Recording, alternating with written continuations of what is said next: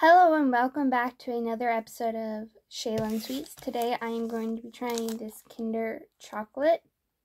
So it says smooth and creamy milk chocolate treat with creamy milky filling.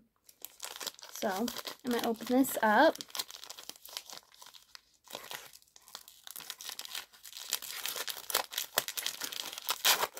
And these ones are individually wrapped. So I'm going to go ahead and open this one up.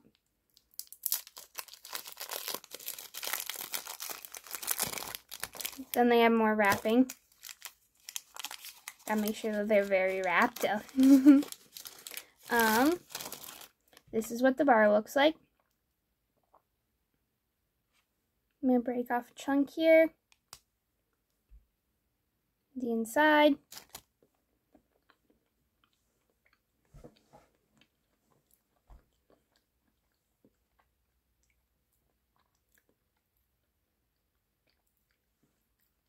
I would definitely say this is very milky.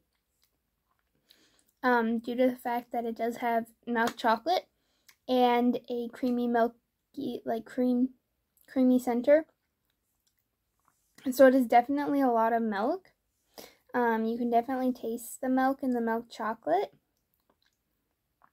So for those of you who like a strong milk taste in your milk chocolate or in your candy, this might be something you want to try. Um, just because, as I said, you can definitely taste the milk in it. I would definitely eat it again, as I am, I mean, I'm not a big fan of milk chocolate, but the way that the milk chocolate and the filling works together, it makes it very delicious. So I would definitely eat this again. Um, but yeah, it's very milky flavor due to the fact that it is milk chocolate in the filling. So let me know what your thoughts are. Let me know if you have anything else you want me to try. And thank you for watching.